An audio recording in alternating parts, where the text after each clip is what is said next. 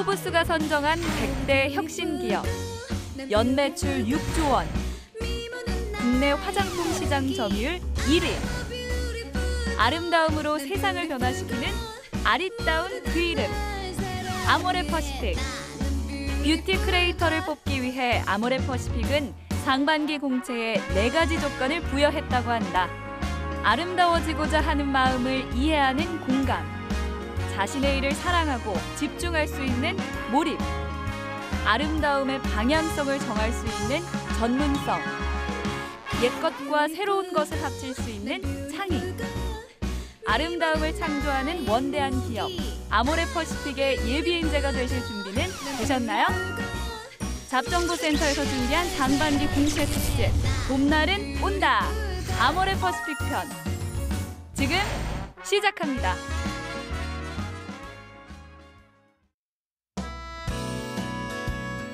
네, 안녕하세요. 성공 취업의 시작 취업정보센터의 김승재입니다. 안녕하세요 자, 이윤정입니다. 이제 저희 뒤에 있는 그 벚꽃 그림이 무색하지 않게 날씨가 포근해졌고요. 음. 어, 정말 어디 방송하지 않고 어디 가고 싶은 마음입니다. 예, 그러지 않습니까? 네, 그렇습니다. 저희는 뭐 가고 싶은데 우리 취준생 여러분들은 지금 아마 창밖만 바라보면서 아, 음. 꽃 예쁘다, 뭐 나도 나들이 가고 싶다 이러고 있을 거예요. 그래요. 고시생 그 분들 중에 이제 고시원에 창문이 없는 데도 있어서 아예 그냥 음. 그런가요? 창문이 없으면 다행인데 이 보면서 못 있으면 또 나가는 이 잔인하죠. 마음 정말 괴롭습니다. 근데 네. 뭐 여행은 둘째치고 어, 춘곤증까지 음. 밀려오니까 정말 밥만 먹으면은 어, 병든 닭처럼 이렇게 졸게 되는데 이럴 때 일주일에 한 10분 정도, 15분 정도 시간 내서 음. 밖에 나가서 산책하시는 거 좋다고 합니다. 네, 광합성도 하시고요. 네. 합격해서 이번 여름에는 꼭 멋진 곳으로 여행 갈 수 있도록 어, 조금만 더 힘을 내시고요. 저희도 응원하겠습니다. 그렇습니다. 잡정부센터 오늘도 성공시험 합격 비법 지금 바로 함께 출발해 보시죠.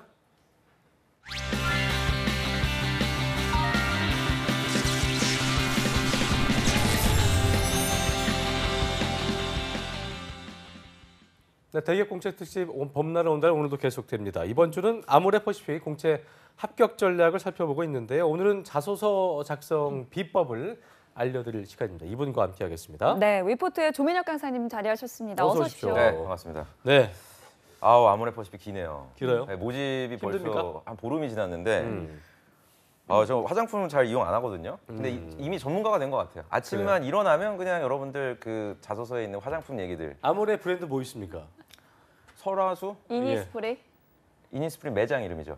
네. 이니스프리. 이니스프리는 이제 아모레 계열사. 페이스샵 같이 아, 그런 네, 그런 그렇죠. 어, 네. 좀 브랜드 branded 뭐 이름이죠. 아리따운 뭐 이렇게 있는데 그래요, 맞아요. 굉장히 인기가 많습니다. 네. 그래, 네. 알겠습니다. 자 요즘 이제 또 봄바람이 살랑살랑 되니까 네. 취준생 마음들도 좀 이렇게 싱숭생숭할 텐데 네. 어, 취준생들의 마음 다 잡으라고 좀 한 말씀 해주세요. 일침 한번 해주세요. 아, 그, 그, 그 일침보다는 오늘은 좀 따뜻하게 좀 말씀을 드리고 음. 아, 왜. 그래요? 하던 대로 하세요. 너무 많이 예. 떨어져가지고 문과분들이 그 지난주 금요일 날 아. CJ, 샘표, 또 수결하게 좀. GS CJ도요? 너무나 많은 기업들 지금 떨어지신 분들이 있고 엊그제 또 GS 리테일까지 또 발표 났는데 싸그리 다 떨어지신 분들이 있어가지고요. 아, 끝까지 여러분들 아직 상반기 아, 진행 중에 있으니까 포기하지 마시기를 그래요. 당부드리겠습니다. 끝나지 않았습니다. 네. 자, 누가 떨어지건 말건 이분은 지금 본인이 할 어, 대본을 계속해서 읊조리고 있는 분인데요. 잡정보센터 공식 힐링 요정 구보라 캐스터 함께하겠습니다. 어서 오십시오. 어서 오십시오. 네, 안녕하세요. 네. 구원합니다. 잘하면서 뭐 이렇게 맨날 읊조리고 그래요. 아, 네. 제가 할 게 오늘 많더라고요. 아무래 보시 좀 힘듭니다. 그래요. 오늘도 힘들게 편했어요. 하는 이제까지 편했어요. 그러게요. 아, 오늘 일좀 해야지. 조민혁 선생님도 그렇고 네, 해야 또 우리 됩니다. 저기 구보라 캐스터 그렇고 힘들게 하는 아무나 표시픽 지금부터 네. 함께 알아보겠습니다. 네, 예. 음. 저희가 이번 주부터 취준생들에게 공채를 준비하면서 뭐 궁금했던 점들을 받고 있는데요. 이 그렇습니다. 부분은 어떻게 참여할 수 있는지 구분학 캐스터가 소개해드린다고 함께 합니다. 보시죠. 네, 네이버 카페 취업대학교에서 공채 그룹에 대한 궁금증들을 댓글로 이제 받고 있습니다. 어떻게 하는지 좀 알려드리면요. 먼저 네이버에서 취업대학교 검색해서 들어가시면요. 이제 공지글이 나옵니다. 취업대학교 봄날은 온다. 아모레퍼시픽 자소서에 대한 궁금증을 남겨주세요라는 이제 글이 있는데요. 취준생들의 워너비 기업 아모레퍼시픽 자소서에 관련된 궁금증을 댓글로 남겨주시면 저희가 직접 방송에서 궁금증을 해결해 드리기도 하고요. 또 여기서 댓글들 중에서 추첨을 통해서 자 별다방 아시죠? 네, 스타 땡땡의 아메리카노를 선물로 드리고 있습니다. 자 베스트 사연이나 궁금증 댓글 꼭 남겨주시고요. 그렇다면 지금부터 자소서 항목 어떻게 되는지 한번 살펴보도록 하겠습니다. 자, 아모레퍼시픽의 공통 항목 총 다섯 개로 이루, 이루 어져 있는데요. 먼저 첫 번째 질문부터 살펴보면요. 귀하가 회사를 선택하는 기준이 무엇이며 왜 그 기준에 지원 회사가 적합하는지 기술하는 항목이 있고요. 자, 이어서 두 번째 항목 살펴보면요. 본인이 선택한 직무에 대해서 아래 내용을 포함을 해서 기술하는 항목인데요. 자, 직무를 선택하게 된 이유, 또 직무를 수행함에 있어서 예상되는 어려움, 또 마지막으로 이를 극복 해 나갈 수 있는 본인만의 강점이 무엇인지 포함을 해서 작성을 해주시면 됩니다. 자, 이어서 세 번째 문항 살펴보면요. 본인의 성장 과정에서 가장 기억에 남는 경험은 무엇이며 그 이유와 과정 속에서 본인이 했던 행동과 생각, 또 이를 통해서 느끼고 배운 점을 기술하는 항목이 있고요. 이어서 네 번째 항목 살펴보면 아모레 퍼시픽 그룹은 아름다움으로 세상을 변화시키겠다는 특별한 소명을 가지고 있습니다. 이 세상을 변화시키는 아름다움이 왜 필요한지 정의하고 또 입사한다면 이러한 소명을 어떻게 실현해 나갈 건지 기술을 해주시면 되고요. 자 마지막으로 항목 살펴보면요. 아모레 퍼시픽 그룹 핵심 가치 중에서 본인에게 가장 부합하는 하나를 선택하고 지원 직무를 수행하는 데 있어서 해당 가치를 어떻게 발휘할 수 있을지 앞으로의 목표나 비전을 이제 기술해 주시면 되는데요. 이 댓글로 많은 분들이 궁금한 점 물어봐 주셨습니다. 이 아모레 퍼시픽 자소서는 어떻게 작성을 하면 합격을 할 수 있을지 또 댓글로 작성해 주신 궁금증에 대한 답변들은 잠시 후에 스튜디오에서 민혁쌤과 함께 알아보도록 하겠습니다.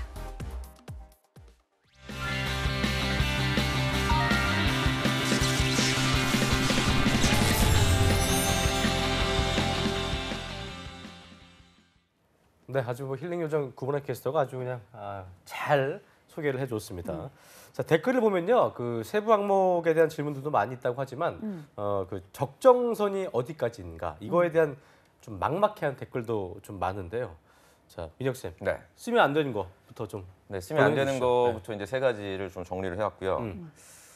부디 여러분들이 여기 해당되지 아, 않으시길 저는 정말 다시 예, 한번 시동을 많이 오래 걸어요. 어, 빨리 본문. 들어갑시다 이제. 아, 이세 가지 중에 한 가지라도 정말. 해당이 어. 된다면 빨리 수정하셔야 됩니다. 그리고 네. 이거는 제 나름대로 여러분들 조사한 내용을 바탕으로 말씀을 드리는 어떤 공신력. 있는 얘기다. 첫 번째, 네. AP 자소서 금기어 top 3. 그렇죠. 첫 번째. 외면과 내면의 조화. 오늘 아침에도 봤어요. 일단 오글거리는 단어는 빼야겠네. 네. 외면과 내면의 조화를 이루겠다는 분을 제가 오늘 아침에도 봤고요. 참 실- 좋은 말인데. 좋은 않아요? 말이죠. 그러니까 어. 자소서에는 여러분들 좋은 말은 가급적 쓰지 않는 게 좋습니다. 왜냐하면 많은 지원자들이 다 좋은 말을 쓰고 싶어 하기 때문에 실제로 아모레 퍼시픽의 그 인사팀의 안현진 대리님이라고 계신데요. 어, 또 실명 오랜만에 나왔네요. 네, 이분이 이제 말씀하신 게 실제로 이런 말씀을 하셨어요. 이전에 그러니까 2016년도 하반기 자소서 중에 아, 공통적으로 불합격하는 분들이 대중적으로 많이 썼던 게 외면과 내면의 조화였다. 네. 그러니까 아모레 기업 가치와 전혀 맞지 않는 요소를 적는 바로 혹시나 여러분들이라면 어, 외면과 내면의 조화. 사실 그러니까 이게 굉장히 좋은 말인데 이거를 또쓴 거네요.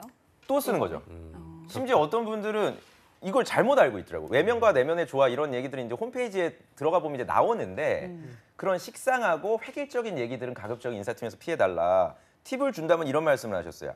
별로 이거 팁이 될 것 같지는 않은데 인사팀에서 항상 이렇게 추상적으로 얘기하는데 전 아모레는 아시안 뷰티 크리에이터긴 하지만 전 세계의 아름다움을 전파하는 것을 기업 가치로 생각하니 이 부분에 대한 여러분들의 어떤 심도 있는 고민을 어, 아까 전에 구분화 캐스터께서 읽어주신 1번 항목이나 4번 항목에 어, 기술을 해줬으면 좋겠다라고 정리를 하고 있습니다. 네. 그래서 여러분들이 그냥 어설프게 저는 괜히 이 단어를 그대로 쓰시는 분들이 있어요.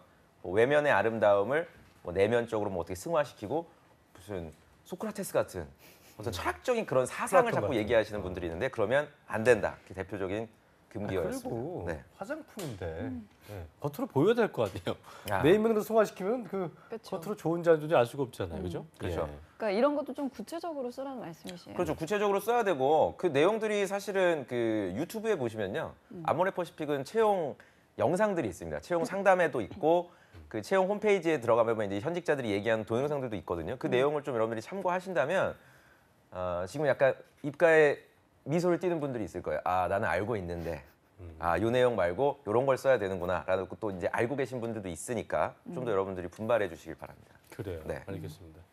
그 취업 준비생들이 아름다움이란 되게 흔한 단어, 이 단어를 가장 좀 어려워하는 것 같은데요. 네. 어, 세상을 변화시키는 아름다움에 대해서 어떻게 풀어나가야 될지 막막하게 하신다. 그 CSR 적으로 어떻게 접근해야 하는지도 직무를 통해서 아름다움을 또 실현시킬 건지 뭐 이런 질문도 있었고 또 질문이 많네요 어, 보니까. 보면은 지금. 뭐 네. 그 그리 부인님은 자소서 항목도 아름답다는 생각이 듭니다. 또 그리고 바다 아래 우주님은 세상을 변화시키는 아름다움이 왜 필요한지 정의하라는 게 너무 막막하네요. 네. 진짜 이거 어떻게 해야 하는지 민혁 쌤이 속 시원하게 네. 좀 얘기 좀 해주세요라고 네. 하는데 어, 참 막막해. 이 보는 4번 항목이 보는 저희도 참 막막하네요. 막막한 예. 것 같아요. 그렇죠. 음. 항목별로는 저희가 이따 좀 알아보도록 하고 네. 요 질문에 대한 뭐 답이 될 수 있을지 모르겠지만 간단하게 짚어 짚어볼게요. 음. 어, 세상을 변화시키는 아름다움에 대해서 어떻게 풀어나갈지를 좀. 말씀해 주셨으면 좋겠다. 근데 이분은 굉장히 고민을 많이 하신 분이에요. 일단 이 음. 민주 구사님은 굉장히 고민을 많이 하셨고 음. 이분이 말씀하시는 지금 두 가지 중에 한 가지가 답입니다. 어. 네, 지금 CS, CSR적으로 접근을 해야 되나요? 아니면 뭐 직무, 예를 들어서 영업 관리 직무라든지 마케팅이라든지 생산 기술인지 뭐 자기가 지원한 직무 쪽으로 접근해야 되는지 둘 중에 하나 어떤 게 맞냐고 했는데 둘 중에 하나가 일단 답이고요. 그게 뭔지는 직무. 제가 직무겠네. 예, 말씀 안 뒷부분에서 말씀을 아 직무라고 생각해요? 아니에요? 김승희 아나운서, 이윤정 항상 아나운서는 직무를 강조하니까. 저도 직무. 직무 쪽으로. 아. 네.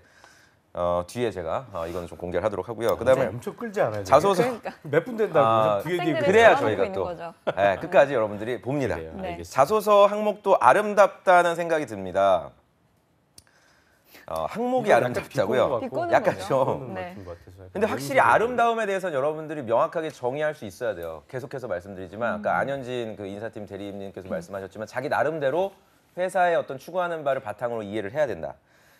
그다음에 그 비판은 좀 도움이 안 되는 것 같긴 하고요. 그렇죠. 짜증 난다고 해서 이렇게 식으로 쓰면 안 되고.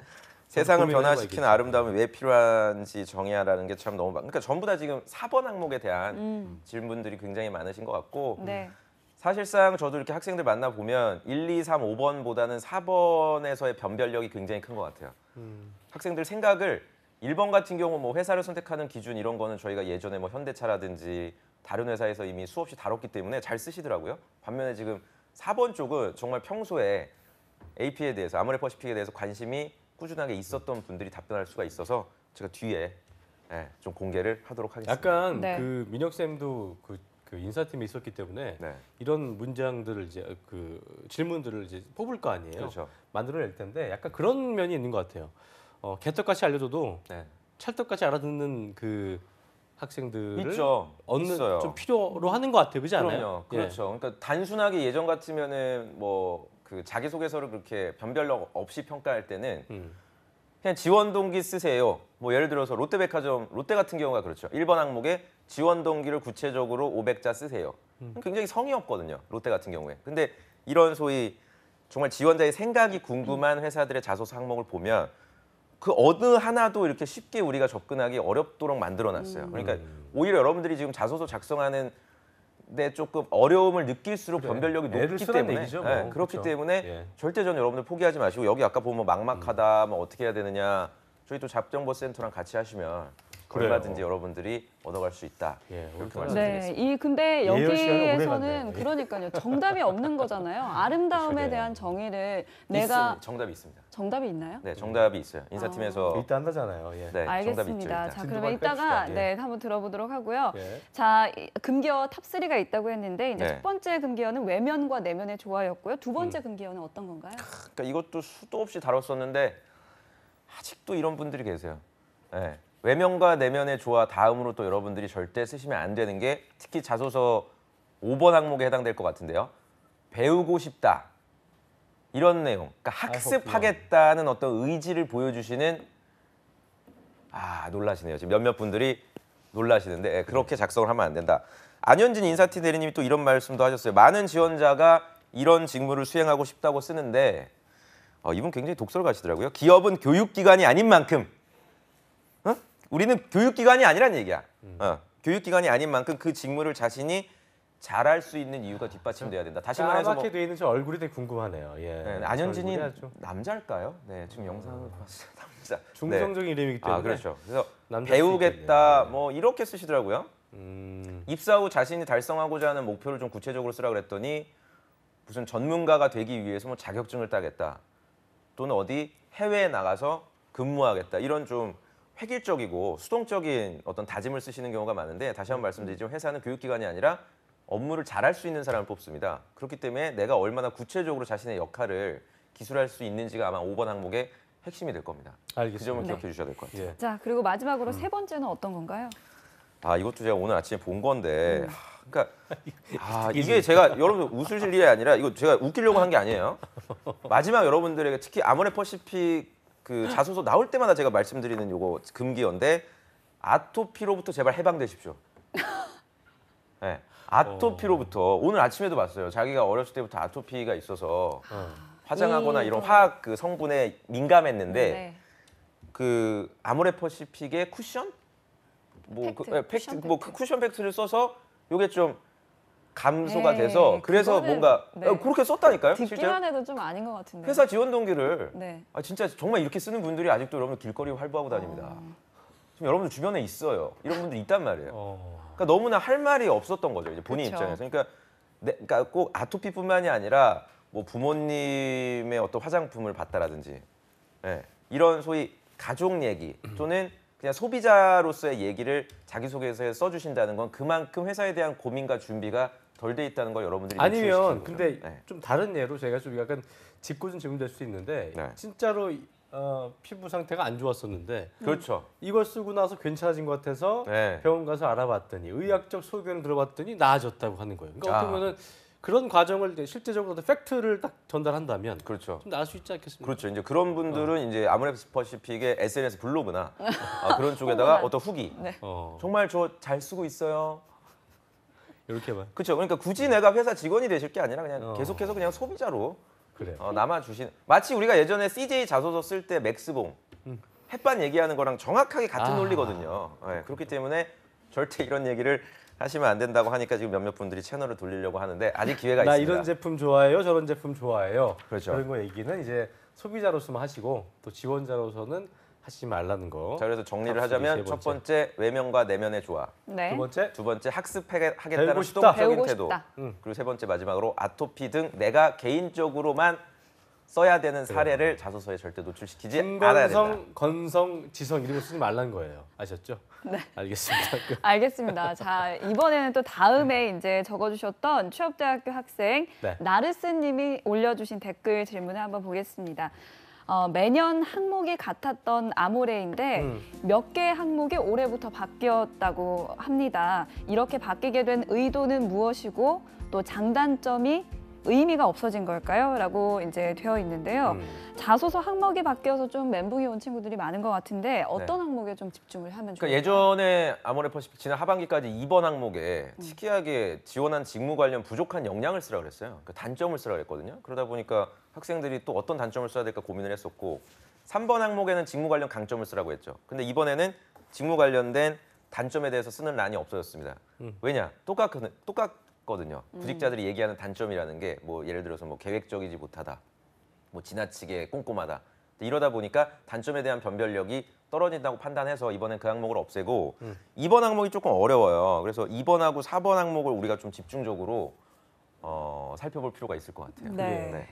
이번 항목이 좀 보여주세요. 이번 항목이 직무에 대한 항목인 것 같은데 음. 또 4번 항목은 어, 아름다움에 대한 아름다움이죠. 2번 같은 경우는 본인이 선택한 직무에 대해서 아래 내용을 포함하게 기술하시라. 그 음. 4번 항목은 아름다움에 대한 항목. 아모레 퍼시픽 그룹은 아름다움으로 세상을 변화시키겠다는 특별한 소명을 갖고 있습니다. 세상을 변화시키는 아름다움이 왜 필요한지 정의하고 싶으시다. 입사한다면 이런 소명을 어떻게 실현할 수 있을지 참 되게 답이 나올 듯 나올 듯 하면서도 굉장히 좀 막막했던 아까 많은 친구들도 좀 애매했던 그런 질문인데 어, 일단 그 2번은 다른 기업들 직무 관련 항목처럼 써서는 안 되니까 좀 집중을 하라 뭐 그런 얘기신 거예요? 그렇죠. 음. 그리고 2번 항목이 이게 또 하나의 그 자기소개서 트렌드로 자리 잡는 것 같아요. 예전에 CJ 저희가 방송했을 때도 말씀드렸는데 CJ 제일제당 자소서 항목하고 정확하게 일치하거든요.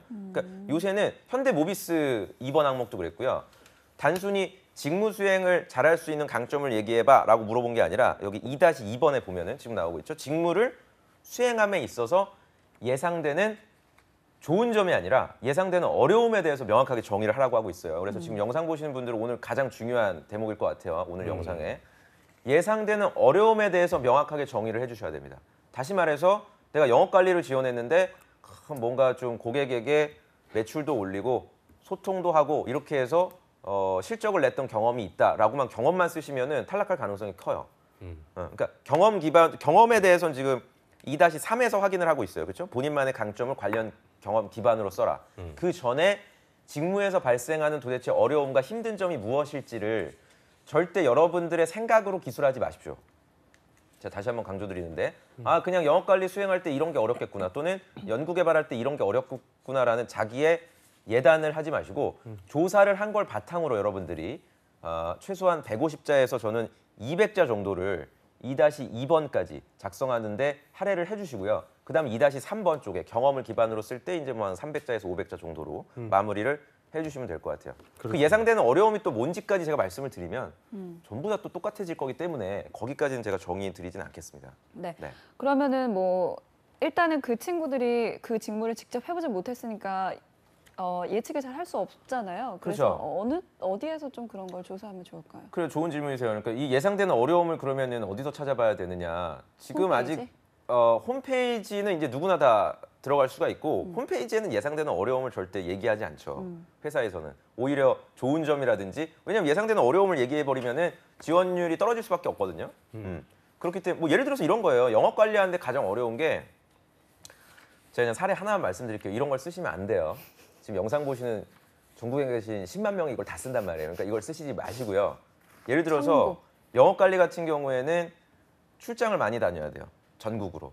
네, 그러다 보면은 운전도 해야 되고요. 음, 그럼 뭔가 체력도 좀 강해야 되고 음. 뭔가 이렇게 지, 지리적으로 뭔가 밝아야 돼요.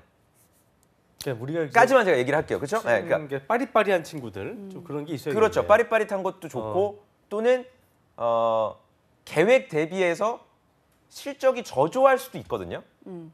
어, 그러니까 수요와 공급, 그러니까 그 법칙에 따라서 이제 보통 영업 관리자들이 그 출 판매 계획도 세우고 하는데 이번 달에는 좀 뭐 특히나 요새 같이 이제 중국 관광객들이 안 오면 매출이 급감할 거 아니에요. 그럼 이럴 때 어떻게 하면 또 내가 매출을 올릴 수 있나 이런 어려움이 분명히 있을 거란 말이죠. 이런 상황에서 여러분들이 어, 돌파할 수 있는 나만의 강점이 뭔지 이런 것들이 절대 홈페이지에 없죠. 그러니까. 현직자들을 직접 만나서 만나- 잠깐이라도 얘기를 저는. 여러분들이 들어보는 수밖에 영혼을 없고요. 갖춰서 얘기할 수 있는 그런 현직자를 만나서 그렇죠. 그리고 현직자들 만나면 보통. 어, 야 우리 회사 입사해 이런 얘기 안 해요. 아, 보통 야 우리 회사 야, 힘드니까 오지 마. 그래. 오지 야 마. 이러 이러한 게 좋은데 힘드니까. 가, 좋은데 가, 오지 마 그렇죠. 이런 얘기. 그리고 채용 설명회 같은데 가더라도 얘기 안 해요.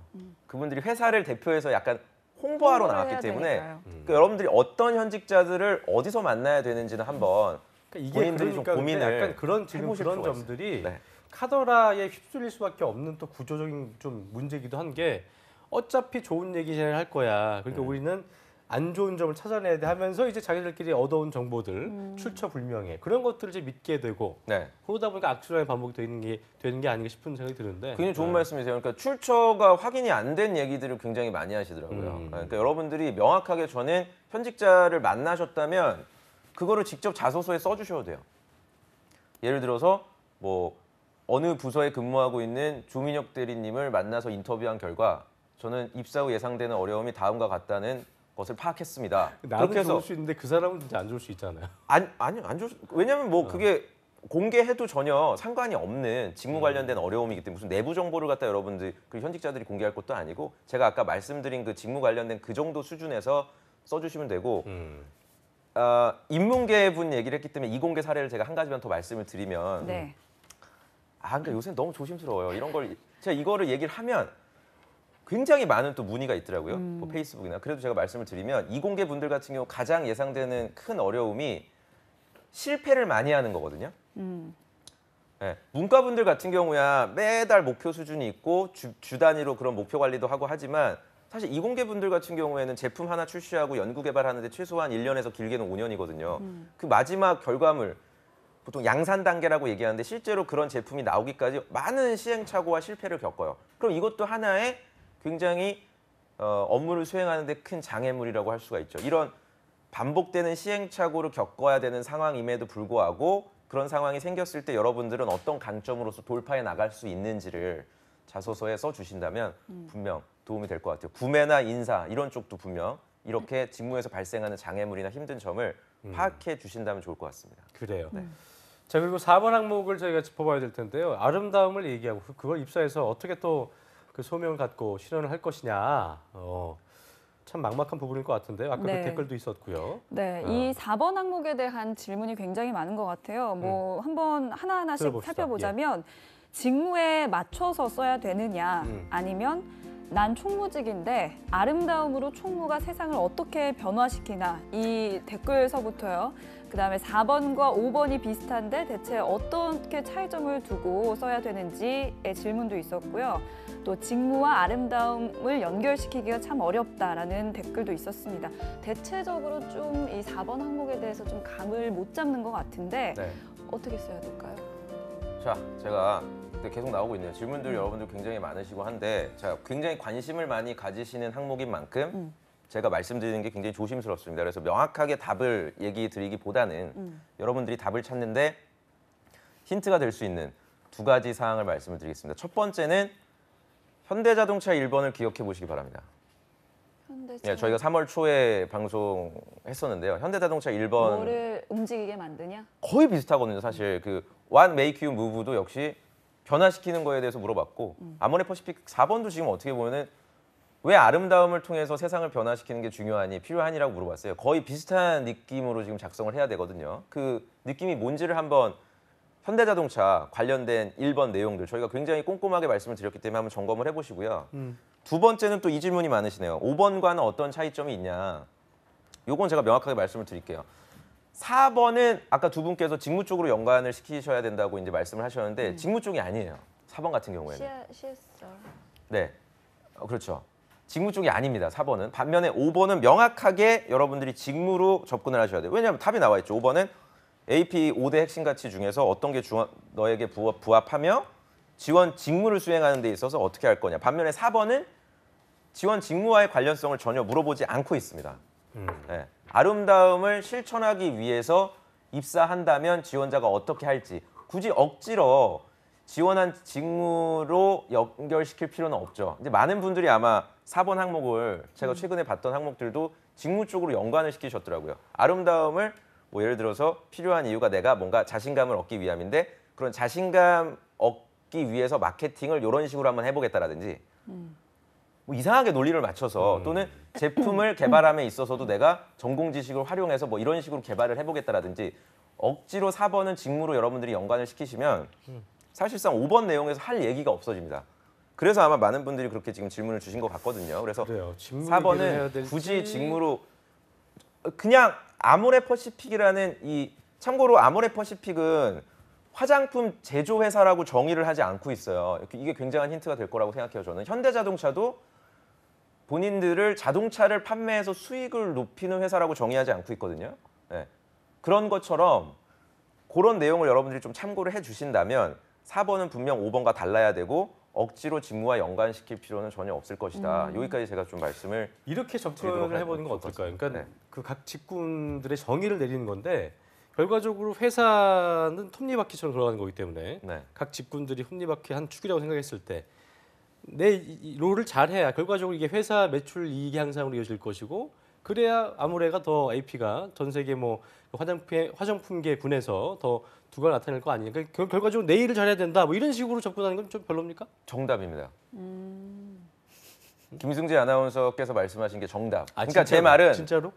one of them이란 얘기예요. 음. 김승재 아나운서께서 말씀하신 게 best answer라는 게 아니라 이것도 하나의 답이 될 수가 있다. 지금 제가 괜히 한그 얘기 생각이 대본에. 없어요 이런 얘기. 근데 정확하게 지적 잘해주신 아주 좋은 아, 답안이거든요. 왜 그러냐면 총무하는 사람이 네. 아름다움을 솔직히 그치. 알게 뭐예요. 네. 그렇잖아요. 그 예를 들어서 마케팅 쪽이나 좀 이거 아름다움을 알릴 수 있는 쪽에 관련된 직군 굳이 얘기하자면 그쪽 직군들은 조금 더 뭔가 그에 대한 생각이 좀 있을 텐데 평소에 생각이 있을 텐데 진짜 거기에 관계 없는 직군들은 이걸 억지로 써는 것도 이상한 거고 그래서 아, 뭐 이런 생각을 해봤습니다. 예. 좀 답을 알기 때문에 지금 말씀드리니까 정말 와닿네요. 그러니까 정리하자면 네. 자기가 하는 맡은 바에 대해서 억지로 그래요. 굳이 아름다움하고 연결시킬 필요는 없지만 어쨌든 내가 하는 바를 좀 충실하게 수행하는 쪽으로 작성해 주시는 것도 잠깐 기다려봐. 지금 그거 필기하고 있지. 기다려봐. 이게 이것만 답이 되는 게 아니라는 얘기예요. 여러분들이 지금 혹시 구매라든지 어, 개발 쪽이나 이런 쪽은 또 이게 답이 아니에요.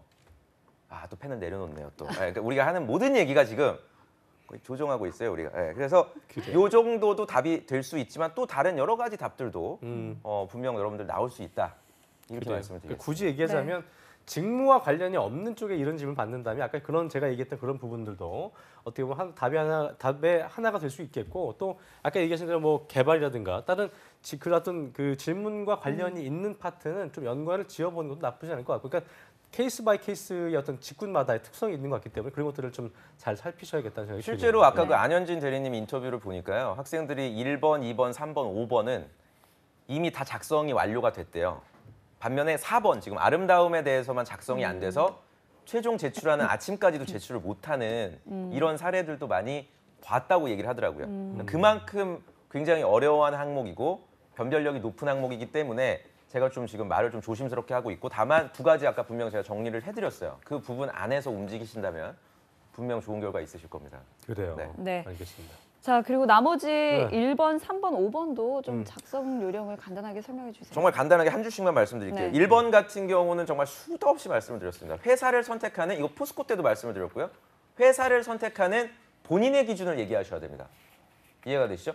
아모레 퍼시픽하고 아무 관련이 없어야 돼요. 일단은 회사를 선택하는 기준은 여러분들 자신의 경험 기준을 명확하게 밝혀주시고요. 3번 항목 성장 과정도 저희가 예전에 삼성 때라든지 과거에 너무 많이 했기 때문에 억지로 아모레 퍼시픽 뭐 화장품이라든지 또는 어떤 이쪽 업계에 연관시킬 필요 없이 여러분들 자신의 스토리 중심으로 3번은 기술을 해주시면 되고 방금 말씀드린 대로 5번은 그야말로 돌직구 직무에서 그렇죠 여러분들이 지원하신 그 직무 분야에서 내가 어떤 역할과 목표를 달성할지를 명확하게 밝혀주시면 될 것 같아요. 그래서 정리를 해보면 아모레 퍼시픽은 직무 중심으로 써야 되는 항목이 1번, 2번, 5번이에요. 음. 그렇죠? 반면에 3번 성장 과정하고 4번 우리가 지금 오늘 하루 종일 아름다움. 얘기했던 아름다움에 대한 거는 사실상 직무와는 전혀 무관하게 음. 여러분들이 접근해야 된다고 하니까 몇몇 분들은 그럼 저는 다시 써야 되나요 라는 표정으로 다시 써야죠. 네, 다음 주 월요일 날 제출이니까 하지 마요. 아직은 주말 내내 아, 아모레 퍼시픽과 함께 보내시길 바랍니다. 모노드라마 모노드라마 찍지 말라고요. 재밌잖아. 근데 이 4번 알겠습니다. 항목이 원래는 그 전에도 지난 뭐 시즌에도 있었던 계속 있었어요. 항목인가요? 그러니까 보시면은 그러니까 변별력이 있다고 판단되는 항목은 계속해서 유지를 합니다. 회사 같은 경우. 1번은 뭐 거의 한 5년째 안 바꾸고 있고요. 4번 같은 경우 작년에 합격한 분들 선배님들을 또 알게 될 수 있다면 네. 그런 분들도 또 개인적으로 만나서 contact해서 조금 조언을 얻는 것도 나쁘지 않겠네요. 솔직히 멀리 갈 필요도 없는 게 예. 어, 내 책에 있어. 그래. 어, 내 책에 아모레 퍼시픽 이러면서 또 마지막에 사례가 나와 있어. 예, 자랑하시네요. 뭘 더 얘기해? 네, 기승전 비즈니스로 네. 가까운 비즈니스로. 예스 24나 어떤 교보문고 쪽으로 네, 이용해 주시면 좋을 것 같아요. 네. 네. 감사합니다. 기승전 비즈니스로 마지막 마무리를 지었습니다. 음. 자 그리고 끝으로 어, 아모레 그룹도 그렇고 하나그룹 공채 준비하는 취업 준비생들 좀 뭐 열을 올리고 있을 텐데요. 끝으로 한 말씀 해주시죠. 시간을 정해놓고 쓰세요. 자소설 여러분들 쓰실 때 계속 마감 기간에 맞추지 말고요. 내 나름대로 데드라인을 정해서 예를 들어서 지금 아모레 퍼시픽은 거의 20일 가까이 채용을 진행하고 있기 때문에 여러분들 이것만 계속 쓰시면 놓치는 기업들이 굉장히 많을 겁니다. 그래서 최소한 아무리 늦어도 토요일 자정 전에는 AP 자소서를 마무리를 해주시길 당부드립니다. 그래요. 네. 자 그리고 오늘 저기 금민혁 쌤 네. 끝으로 이거 참 이런 것도 하네요. 댓글 주신 분들이 한열분 있었는데 네. 골라왔어요, 제가. 골라왔습니까? 네. 근데. 어떤 분이 어떤 이유가 어, 있어야 돼 또. 있을까요? 뭐그 어떤 도전적인 분들 제가 좋아하거든요. 아하. 그 도전적으로 본인의 아, 누군지 알것 출생 연도와 이름까지 공개해 주신 아. 민주 구사님. 야 민주 구사님. 어. 송민준이. 박민주, 김민주 아무튼 이 민주님이고 구사님면 구사면은 스물셋 나이도 아주 그냥. 어리 창창하기 때문에 네. 또잘 되실 것 같아서 스타벅스 아메리카노 행운의 질, 당첨자는 질문 내용도 굉장히 바로 민주 바로 민주, 민주. 구사님이 당첨되셨습니다. 나 이제 가면 벗으려고 그랬어 아 그래서 민주 알겠습니다. 구사님께 예. 네 전달해 드리도록 네, 하겠습니다. 저희 앞으로 이것도 계속 한, 되는 거기 때문에 그쵸. 좀 이렇게 어, 적극적으로 또 이름을 실명을 밝혀 주시면 훨씬 더 당첨 확률이 다 밝히겠네요. 거. 예. 음. 네. 네. 민주 예. 구사님 당첨되신 분 어, 축하드리겠고요. 그렇습니다. 앞으로도 많은 댓글 참여 부탁드립니다. 네. 오늘 도움 말씀 주신 위포트의 조민혁 강사님 고맙습니다. 고맙습니다. 잡정무센터 1부는 여기까지고요. 잠시 후 2부에서는 구원아 캐스터와 함께하는 시간이죠. 일자리 방방 곡곡이 준비되어 있고요. 네, 공채 시즌 중반을 넘어서면서 다양한 기업들의 공채 소식이 쭉쭉 올라오고 있는데요. 네. 홈쇼핑과 그리고 패션 쪽 지원자들은 오늘 주목하시면 굉장히 좋을 것 같습니다. 네. 이분 굉장히 오랜만에 나오셨는데요. 그래요. 네, 임소아 쌤 잠시 후에 만나뵙도록 하겠습니다. 같습니다. 어디 네. 가지 마시고요. 채널 고정.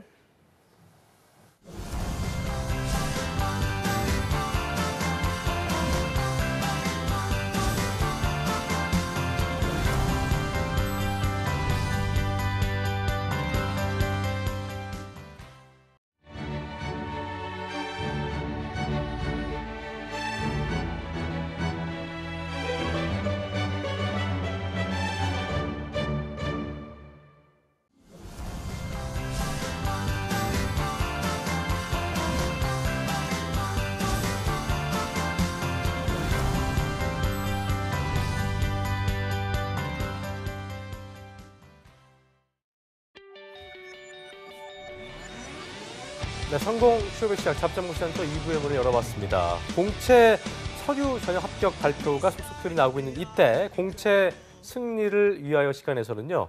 상반기 CJ그룹 공채 서류 전형 관련 소식과 함께 아, 이분 오랜만에 모셨죠. 임소아 쌤과 함께 홈쇼핑 업체 채용 동향에 대해서 자세히 짚어보겠습니다. 네, 임송아 쌤과 함께 또 그리고 차코치님도 함께 하니까요. 네. 꼭 놓치지 마시길 바라겠습니다. 먼저 일자리 방방곡곡부터 바로 만나보시죠.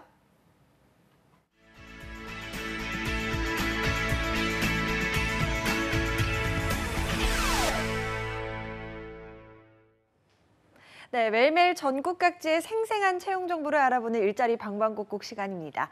자, 먼저 서울 지역부터 가보겠는데요. 서울 고용센터의 박가혜 주무관님 전화 연결돼 있습니다. 주무관님 안녕하세요.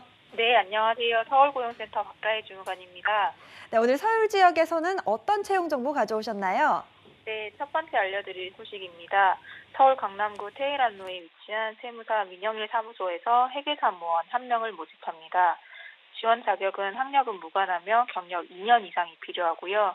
담당 업무로는 세무, 회계, 부가세, 법인세 및 종합소득세 등 신고 업무를 담당하게 되고요. 급여는 연봉 2,800만 원 이상이며 세무사랑 2와 더존 스마트 A 운용 가능자와 전산회계 1급, 전산세무 2급 자격증 소지자를 우대합니다. 접수는 이메일을 통해 이력서, 자기소개서 등을 제출하시면 되고 자세한 사항은 워크넷 홈페이지 참고하여 지원하시면 되겠습니다. 네, 회계 세무 관련 자격증 가지고 계신 분들 우대한다고 하니까요. 이 자격증 있으신 분들 이번 기회 놓치지 마시고 지원해 보시기 바랍니다. 자, 이어서 바로 다음 소식도 전해 주시죠. 네, 서울 서초구 논현로에 위치한 W 모바일 네트워크스에서 쇼핑몰 관리자 한 명을 모집합니다. 지원 자격은 고졸 이상의 학력, 경력은 무관한 신입 채용입니다.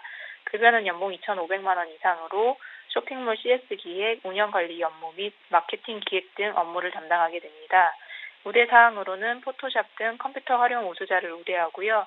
접수는 팩스나 이메일을 통해 이력서, 자기소개서 등을 제출하시면 되고 자세한 사항은 워크넷 홈페이지 참고하여 지원하시면 되겠습니다.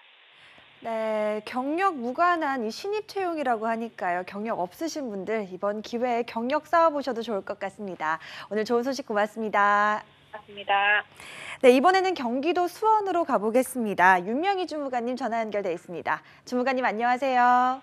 네, 안녕하세요. 수원 고용복지 플러스센터의 윤명입니다. 네, 수원 지역에는 어떤 일자리가 기다리고 있나요?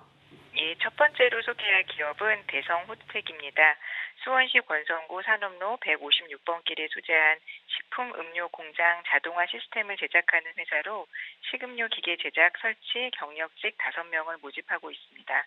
지원 자격으로는 학력은 고졸 이상, 경력은 기계 설치 및 조립, 알곤 용접, 경력 1년 이상으로 신입도 지원 가능합니다. 급여는 월급 250만 원 이상으로 상여금 300%를 별도로 지급합니다. 복리후생으로는 기숙사 중식 제공이 있습니다. 채용 시 마감 예정이므로 경력이 있으신 분들은 워크넷 구인 내용을 확인하신 후 이력서 자기소개서 등을 이메일로 지원해 주시기 바랍니다. 네, 기숙사와 이 중식이 제공되고 무려 다섯 명이나 채용된다고 하니까요. 이번 기회에 꼭 한번 참여해 보시기 바랍니다. 이어서 바로 다음 소식도 전해 주시죠. 두 번째 소식은 다양한 프로그램 소식 준비했습니다. 집단 상담 프로그램으로는 4월 10일 월요일 자기개발 능력 향상, 4월 11일 화요일 취업 어려움 극복하기를 주제로 오후 2시부터 5시까지 열릴 예정이고요. 특강 프로그램으로는 4월 12일 수요일 성공을 부르는 면접 및 이미지 메이킹을 4월 14일 금요일에는 이력서와 자기소개서 작성법을 주제로 오후 4시부터 6시까지 특강이 진행될 예정입니다. 프로그램 장소는 수원 고용센터 3층 단기 집단 상담실과 실업급여 설명회장으로 참여를 원하시는 구직자분들은 일정을 참고하셔서 미리 워크넷을 통해 신청하거나 고용센터를 방문하여 접수하셔야 합니다. 프로그램과 관련한 궁금한 사항은 국번 없이 1350번으로 연락하시면 됩니다. 네, 4월 10일 월요일부터 금요일까지 한 주간 계속해서 진행된다고 하니까요. 이 지역 구직- 구직자분들은 일주일에 한 번이라도 시간 내셔서 꼭 한번 참여해 보시면 좋을 것 같습니다. 오늘 좋은 소식 고맙습니다. 고맙습니다. 네, 지금까지 일자리 방방곡곡 서울과 경기 지역의 채용 정보 살펴봤습니다.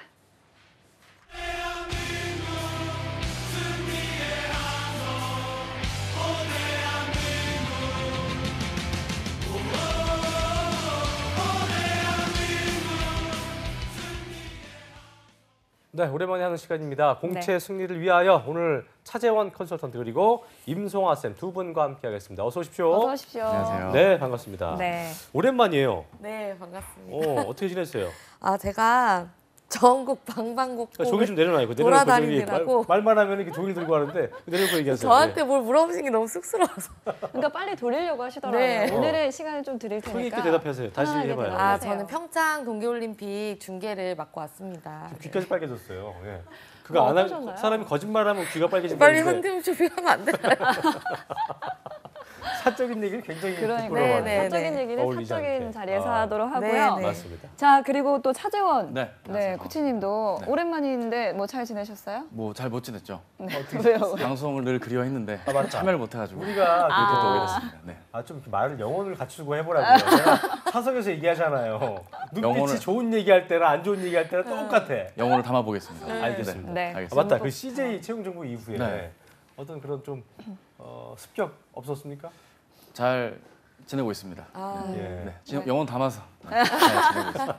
감사합니다. 진짜 영혼 네. 듬뿍 담으신 것 알겠습니다. 같은데요. 오늘 이 두 분의 조합 정말 기대를 해보겠습니다. 음. 자 그럼 먼저 차코치님부터 네. 그 CJ그룹 서류 전형의 합격자 발표가 음. 났잖아요. 네네.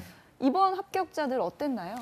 일단 전체적으로 뽑는 인원이 음. 저기 적다 보니까 기존에 지원했던 지원자는 동일한데 뽑는 인원이 적어가지고 이제 좀 많이 힘들어했죠. 음. 실제로 뭐 잘 먹던 햇반도 안 먹고 보던 영화도 안 보고 막 이런 좀 어이없는 일들이 벌어진다는 아하. 루머도 실제 예. 벌어지는 건 아닌데 루머가 있을 만큼 까지. 뭐 사드도 아니고요. 그렇죠. 굉장히 오복인가요? 난- 네. 지금 오복이 지원자 그러니까 많이 공채를 뽑지 않는다는 네. 이유로 불매 운동하면 안 됩니다. 네, 네, 또 그렇죠. 언제 될지 모르기 때문에 그런 건 이제 카더라로 저희가 지불을 하고요. 네. 네. 자, 어쨌든 이게 참 그 이렇게 웃지 못할 루머까지 생성이 될 만큼 상당히 탈락자들의 충격이 크다 이렇게 저희가 아, 확인할 수 있을 것 같은데 아, 차코치님 이게 CJ 전형 탈락하신 분들한테 네. 무슨 말이 필요하겠습니까만은 그래도 일본 카메라 보시면서 심심한 위로의 한마디 해주시죠. 심심한 위로의 한 말씀을 여러분께 좀 드리자면 일단은 CJ는 여러분의 길이 아니었을지도 모르겠습니다. 뭐 이렇게 말씀을 인연이 드리면 아니었다. 예, 사람아, 인연이 그게 아닐 지금 수도. 위로예요? 이렇게라도 해야 정신 승리 아니겠습니까? 네. 근데 네. 여러분들이 좀 결과가 안 좋을 만한 거에는 이유가 있지 않았을까라는 생각을 해봐서요. 음. 서류에서 흔히 할 수 있는 오류들, 떨어질 만한 제 또 저희 학생들 혹은 외부에 만났던 여러 자소서들 만나보고 나서 느낀 점들을 그래요. 짧게 말씀을 드리자면 네. 일단은 여러분들이 지원 동기가 없는데 앞에서 우리 조미혁 선생님 방송도 보셨지만 지원 동기가 딱히 없는데 어떻게든 이걸 비집고 만들어내갖고 에 햇반 뭐 이런 식으로 그냥 대충 그리고 내가 갖고 이게 있는 뭐예요? 에 햇반 햇반. 뭐야? 먹어보니 이런 기술 확신이 들었다. 그리고 내가 갖고 있는 이 문제 해결력으로 돌파를 하고 싶다. 이렇게 좀 검증되지 않은 얘기로 내 얘기를 담아내려다 보니까 네. 조금 설득이 안 되고 힘들었다. 얕은 어. 수는 통하지 않았다는 거. 그래서 너가 떨어진 게 아닐까 싶고요. 네. 또 하나는 이제 뭔지 모르겠지만 현황을 쭉 나열을 하는 나열충. 그죠? 제가 지난번에도 말씀을 드렸는데 충 좋아해. 네. 충 아무 데나 나왔네요. 충을 갖다 네. 붙이고 그래. 조심해야죠. 네. 나열을 말이에요. 막 나열해 놓고 결론은 나지 않는 식으로 예. 뭐 소통으로 해결하겠어요. 그렇게 해결이 되면 신입을 안 뽑겠죠. 이미 해결이 다 된 거를 마치 대단하게 내가 해줄 것처럼 얘기하면 곤란하겠다. 그리고 마지막으로 지키지 못할 약속. 신승훈 씨 6집 타이틀곡 노래 같이 지킬 수 없는 약속을 하는 분들. 내가 5년 이내 남아공에서 비비고 매장을 설립하겠다고. 아, 이 말이 안 되는 이런 접근들. 그래. 그래도 사자한테 것들이 물릴 수 떨어진 게 있어요. 아닐까. 나온 싶네요. 갔다가. 네. 네, 안타까워요. 이렇게 음, 실패 탈락한 자소서 유형을 저희가 정말 약간 좀 재미있게 웃으면서 얘기해서 네, 네. 뭐 약간 좀 장난 같았지만 진짜로 이게 그 가능한 이유라고 볼 수 있을 것 같아요. 저 네. 이번에 네. 올리브영 합격할 갑자기 수 없는 갑자기 스펙에 친구가 네, 네. 아니, 없는 안 스펙에 했는데. 합격한 친구가 아. 있어요. 네. 합격할 수 없는 친구에 합격한 친구가 네. 서울 사는데 부산 광복점까지 가가지고 아하. 거기에 이, 거- 거긴 좀 올리브영 이번에 크게 열었거든요. 네. 거기에 리, 르포를 네. 쫙 이렇게 짝짝짝 정리하고 아하. 그래서 이것들을 이게 앞으로 CJ 올리브영에서 지금 추구하는 것들을 living 파트가 있는데 이게 적용 가능한지 아닌지 이런 걸 막 분석해가지고 쓴 친구가 있어요. 그 친구 학교 어딥니까? 직무는 어디 직무 혹시? 스펙 어떻게 되세요? MD인데 지금 아. 수업 듣고 있는 친구라 그래요? 제가 어. 네 네. 붙을 거 아, 학교 얘기할 수. 있잖아요. 예. 인서울입니까? 네, 어, 인서울 아니에요. 아닙니까? 네. 어, 그래요. 인서울 아니에요. 대단하군요. 그러니까 그런 경험이 굉장히 중요한 그만큼 거예요. 깊이 뭐 있게 여러 번 준비를 얘기하지만 하니까 네, 결과가 좋게 정말 나온 거겠죠. 준비하고, 결과가 그렇죠. 네. 부산 광복점까지 약간 SRT 그런- 타고. 네. 그런 얘기 있어요. 예. SRT 얘기하지 말고 아, 배우지 SRT 말라니까. SRT가 빠르더라고요. 타고 오는 건 8분 알았습니다. 빠르더라고요. 예, 부산 가면. 아, KTX 8분 탔어요. 아, 아? 멘트 욕심 아, 많네 오랜만에 맞아요. 하니까. 네. 그런 거 하지 말고 자제하겠습니다. 깨알 네. 그만 자제하겠습니다. 하지 마요. 예. 자, 알겠습니다. 일단은 왜 탈락했는지 그 유형을 세 가지로 이렇게 지원 동의가 없는 그 미투 유형들, 그 다음에 그래요. 한 방의 해결 유형, 맞아요. 지킬 수 없는 약속 이렇게 유형들 음. 살펴주셨는데요. 자, 이번에는 저희가 어, 송아 쌤한테 이게 한셋이라고 아니고 한섬이라고 때 그러시더라고요. 한섬 공채가 나왔다고요? 예. 한섬 공채 이제 뜨죠. 뜹니까? 예. 네, 이제 음. 한세는 이제 다 마무리가 됐고 이제 한섬이 이제 아, 또 한섬에 뜨는데 대해서. 어. 여기는 수시 채용을 해요. 그리고 현대 그룹인데 현대 백화점 그룹인데 recruiting에서 안 뽑고 수시 채용으로 뽑는 기업인데 음. 모든 이제 패션 업계 종사자들이 가장 가고 싶어하는 타임과 시스템을 만드는 회사 그래요. 네 있습니다. 마인도 있지 않나요? 그렇죠, 어, 예. 그렇죠. 마인 알고 있습니다. 있습니다. 예. 네. 제가 자주 가는데 한섬 그 패션 warehouse라고 저 공세동에 있는 건데 아, 네. 거기 아주 옷 많습니다. 예. 역시 싼 가격에 네. 좋은 거 네. 구입할 수 있는 예. 네. 깨알 정보 제가 깨알 전해드렸습니다. 정보 예. 전해드렸고요. 자 그리고 또그 차코치님은 또 네. 홈쇼핑도 잘 아시잖아요. 네, 그렇죠. 잘 그러니까 요즘에 또 홈쇼핑 업체 채용이 어떤지도 좀 그 현황을 잘 아실 것 같은데 좀 얘기 좀 해주세요. 네, 일단은 홈쇼핑 채용이 뭐 어제 오늘 있었던 일은 아닌데 분명한 사실은 편의점과 함께 뜨고 있는 몇 안 되는 뜨고 유통업이다. 네, 그렇죠. 어떤 이유로? 예. 일단은 매출이 지속적으로 오르고 있고 해외 진출도 굉장히 활발하기 때문에 음. 회사 전체는 파이의 규모가 커지고 있고 그러니까 해외 진출이란 게 네. 해외에서도 지금 국내 그, 네. 그 쇼핑 호스트들이 나와서 그 판매하는 것처럼 똑같이 하나요? 예, 후- 한국형 홈쇼핑이 있고 미국 미국형 홈쇼핑이 있는데 음. 한국형 이제 라이브 방송으로 진행이 되는 그 홈쇼핑을 현재 해외에도 그 플랫 그 포맷을 아, 그대로 하고 있죠. 채용해서 그렇죠. 그렇군요. 그렇게 하는 것도 있고 이제 상사 같이 음. 중소기업들 제품을 예. 이렇게 실어가지고 해외에 있는 온라인이나 오프라인을 판매하는 역할도 같이 하는 그렇군요. 식으로 해서 쌍끌이로 돈을 벌기 때문에 야. 홈쇼핑이 굉장히 화랑이다 야, 말씀을 홈쇼핑이 싶습니다. 국내에서 이 아주머니들만 대상으로 이렇게 네, 하는 그렇죠. 줄 알았더니 네. 그게 아니었군요. 네. 네. 예. 소아 쌤 그만큼 좀 네. 경쟁이 더 치열할 것 같은데요. 유통 MD? 엄청나게 하려고 하겠네요, 진짜로. 아니 문과생들이 갈 곳이 일단 없고요. 어. 문과생들이 이제 뭐 현대차를 가겠습니까? LG전자 가겠습니까? 그래요. 줄줄이 탈락하고 이제 CJ의 목숨을 거는 어. 옷쇼핑과 recruiting이 목숨을 거는 추세이기 때문에 음. 아 그리고 이 MD 좋다는 얘기는 어디서 또 잘 들어가지고 굉장히 지원을 많이 보이잖아요, 하고 MD. 있습니다. 예.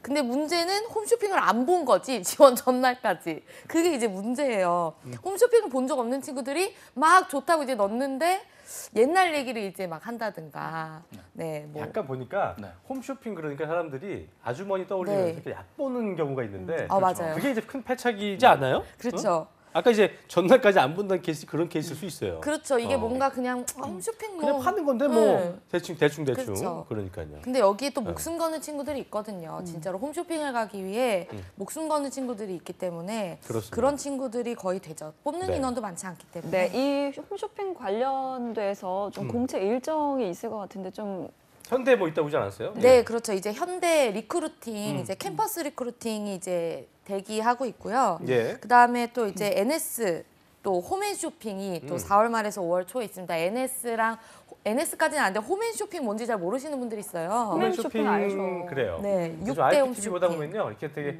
화면이 바뀌어서 좀. 짜증이 나는데 뭔 말인지 아시죠? 딱 틀고 있다가 한 잘합니다. 10초 지나면 화면이 싹 줄어들면서 KT랑. 이렇게 네. IPTV 그런 그 홈의 쇼핑도 그렇고 네. 어제 얘기했던 뭐 SK 비쇼핑. 비쇼핑, 네네. BTS겠죠. 네. 예, 여러 가지가 있, 그런. 네 예. 맞습니다. 커, 티커머스 음. 쪽도 있고요. 그다음에 이제 10월 중순에서 이제 11월 초에 음. 이제 대부분 하반기 공채가 잡히는 편이라고 할 수가 있겠습니다. 그래요. 네. 현대그룹, 현대백화점그룹 그 공채 얘기를 좀 해보야 될 텐데 어 이게 그 현대 홈쇼핑 같은 경우는 백화점 그룹 공채 모집이랑 맞물리면서 채용이 진행되기 때문에 네. 어, 공채 시작이 다음 주 월요일부터인데요. 이번에 좀 얼마나 뽑을 거로 예상을 네, 그 티어가 하시는지. 네. 어느 정도인지. 일단은 그 공고를 보신 분들은 익히 아시겠지만 음. 여러분들이 착각하시면 안 되는 게 상반기이기 때문에 많은 많이 뽑질 않아요. 예. 그리고 현대백화점 그룹 채용 세 가지 유형 있잖아요. wannabe fashionista, recruiting. 그리고 이제 회사 그 학교에 학교에 그 취업 센터에서 추천해 주는 전형에서 총 세 가지가 있기 때문에 네. 이 세 가지 전형을 합쳐서 인원이 약 20여 명 정도가 뽑힌다. MD는 오. 여섯 명에서 일곱 명, PD는 한 두세 명 정도 진행이 되지 않을까라는 예상이 현재 되고 그렇군요. 있는 상황. 네, 참 뭐 전형도 뭐 몇 가지 네. 여러 개가 있는 것 같은데요. 음, 네. 어떤 점에 좀 주목을 해서 접근하면 좋을까요? 일단 이게 캠퍼스에서 하는 좀 옛날 방식일 수도 있겠죠. 하지만 네. 검증된 학교들, 이를테면 서울 시내에 있는 학교들이랑 전북대, 전남대, 충북대에서 지금 음. 그 캐- recruiting을 진행할 예정이라고 하는데 네. 학교에 가서 간단한 약식 면접을 보고 난 후에 그 코드를 주고 그 다음에 서류 전형에 진행하는 시기이기 때문에 음. 여러분들이 좀 정확하고 깔끔하게 준비를 해주실 필요가 있겠죠. 음. 그리고 일단은 어설프게 MD 아까 말씀하신 것처럼 뭐 MD는 어떻다 저렇다 이런 좀 대략적인 얘기 말고요. 음. 해당 직무가 어떤 일을 하는지 정확하게 알아야 된다고 그 현대백화점그룹 인사기획팀 김태환 대리님이 3월 6일 신문에 본인이 직접 임- 이 메시지를 남기셨어요. 음. 직무가 직무 파악이 정말 중요하다. 그리고 현대백화점 그룹 안에 그 실패 열전이라고 혹시 들어보셨습니까? 실패 열전? 예. 그 그룹 내에 다양한 일을 했을 때 네. 아이디어를 내서 가장 많이 실패한 분한테 포상을 하는 제도랍니다. 오. 이렇게 실패 열전과 같이 그 실패를 두려워하지 않고 자기의 이야기를 꺼낼 수 있는 분들의 그런 답변을 recruiting 때 해주시면 좋을 것 같고요. 마지막으로 한 말씀 더 드리자면 이런 면접이 일반 기업 면접과 다르기 때문에 가볍게 생각을 하셔서는 안 되겠습니다. 좀 정확하게 준비해 주셔야 되고 회사 인재상이나 핵심 가치는 꼭 챙겨주실 것을 부탁을 드리겠습니다. 네. 음. 자 그리고 어, 송아 쌤도 한 말씀 좀 해주시죠. 어떤 식으로 좀 지원하기 좋을지. 그 일단 말씀하신 걸 이어서 해드리자면 음. 이 recruiting 같은 경우에는 이렇게 그냥 무난하게 이제 그룹 면접을 통해서 그 중에 뭐 다섯 명 중 두 명 이런 식이 아니거든요. 음. 그러니까 영 명의 가능성이 있고 열 명의 가능성이 있는 거기 때문에 음. 정말로 이거를 좀 전략적으로 준비하시는 게 좋아요. 예를 들어서 뭐 영업 관리란 뭐라고 생각합니까? 뭐 영업 관리란 최고의 매출을 뭐 하여서 뭐 고객 관리 통해 이런 어떤 네이버에 나올 것 같은 정의를 말씀하시는 게 아니라 예를 들어서 지난번에 붙은 친구 중에 영업 관리란 뭐라고 생각하십니까? 돈값 하는 거죠. 이렇게 얘기를 해서 붙은 친구도 있거든요. 그래서 음. 정말로 듣고 싶은 답변을 하는 게 중요하고 또 홈쇼핑에서 추가적으로 한 말씀만 드리자면 PD 지원하지 않으셨으면 좋겠어요. 영상 전공자가 아닌 친구들이 이게 아닌 사람도 뽑는데 이렇게 해서 지원을 하거든요. 근데 요즘은 진짜 아닌 그런 사람 추세. 뽑긴 뽑아요. 네, 아닌 사람은 어. 원래는 뽑았어요. 그냥 어떤 기획적인 전략 기획적인 역량이 있으면 PD가 가능하다 이렇게 생각해서 뽑았는데 요새는 그런 거 없거든요. 그래서 음. 영상 지원 안 하신 분들은 무조건 MD 쪽을 지원하셔야지 PD를 지원하시면 헛수고하는 경우들이 많기 때문에 좀 음. 피해 주시면 좋을 것 같습니다. 그래요. 알겠습니다. 네. 자 그리고 또 예. 차코치님께서 네. 현대 홈쇼핑 공채 지원하는 데 있어서 팁 좀좀 그래요. 알려주세요. CJ에 또 계셨기 때문에. 아, 네 네. 일단은 홈쇼핑 쪽을 만만하게 보시면 안 되는 게 기본적으로 아까 말씀 임성원 쌤 말씀처럼 TV로만 물건을 파는 회사라고 오해들을 많이 하시는데 인터넷에서 매출이 더 많이 나오고 있거든요. 어. 인터넷과 모바일 매출에 대한 어떤 제고 그렇기 때문에 인터넷과 모바일에 대한 insight가 확실히 있어야 TV를 보다가 그렇죠. 그 전화하기 귀찮아서 네. 그렇죠. 이걸 깐 다음에 거기서 그냥 결제를 바로 해보는 경우가 그렇죠. 있어서. 그럼 또 맞아요. 쿠폰도 많이 주거든요. 그렇게 맞아요, 하면 더 맞아요. 할인이 되는 그럴 것도 수 있죠. 있고요. 예. 그러한 기획이나 이벤트 모든 것들을 그냥 막연하게 TV 보고 뭐 리모컨으로 이걸 선택받을 수 있는 그런 시절이 지났기 때문에 음. 이 업계에 대한 전반적인 이해도 굉장히 중요할 것이고요. 그리고 본인이 카테고리에 대한 관여도가 높아야 돼요. 본인이 막연하게 living이 좋아요가 아니라 living 안에서도 어떤 타겟층이 이런 걸 좋아한다라는 건 기본적으로 파악을 해야겠죠.